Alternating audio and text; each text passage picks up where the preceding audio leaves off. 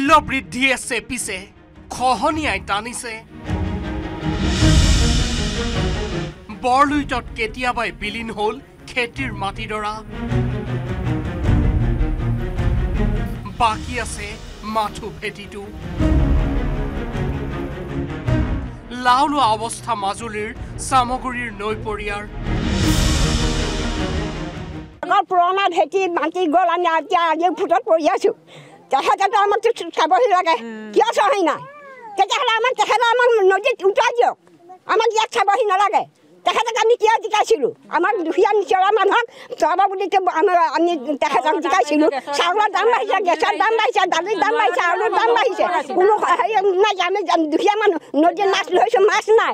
কোনো খেতি পথাৰ নাই হেৰি নাই। আমি কি খাই পেলাই আমি জীয়াই থাকিম? তেখেতক আমি কেনেকৈ জিকাম?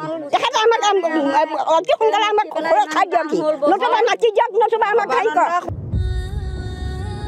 খহনীয়াৰ পৰা পৰিত্ৰাণ বিচাৰি উপায়হীন গাঁওবাসীয়ে আৰম্ভ কৰিলে সমূহীয়া প্ৰাৰ্থনাৰ।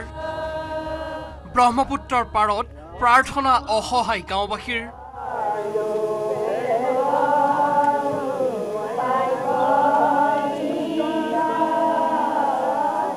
জীৱ জগতক উদ্ধাৰৰ কাৰণে তোমাক আমি কৰযোৰে মিনতি কৰিছোঁ হে প্ৰভু।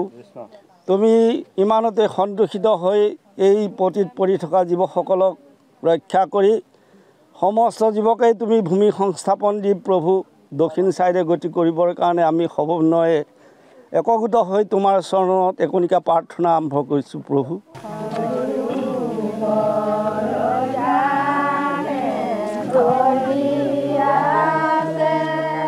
দীৰ্ঘদিনে ব্ৰহ্মপুত্ৰ বোৰ্ডেও ব্যৱস্থা নকৰিলে খহনীয়া প্ৰতিৰোধৰ।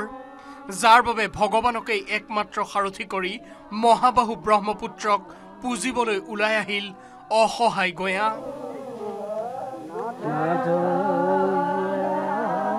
মাজুলীৰ পৰা Bhaskarjyoti Kotoky News Eighteen Assam North East.